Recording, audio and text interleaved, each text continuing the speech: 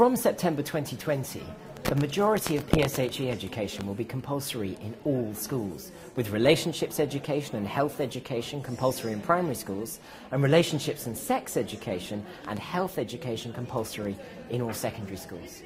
This is an historic step and presents fantastic opportunities for children and young people. But though many schools were already teaching PSHE brilliantly, it is not without challenges for schools. Schools will have questions about how to best develop their policies, design their curriculum and choose resources.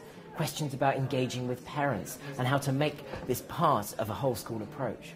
That's why we're delighted to be working with NAHT on a series of training to prepare school leaders and PSHE leads to get ready for these statutory changes.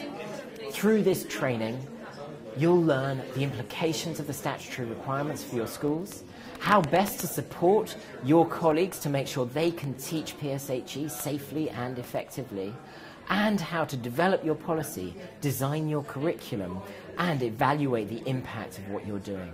We're really excited to be working with the NAHT on this initiative, and we really look forward to seeing you at the training.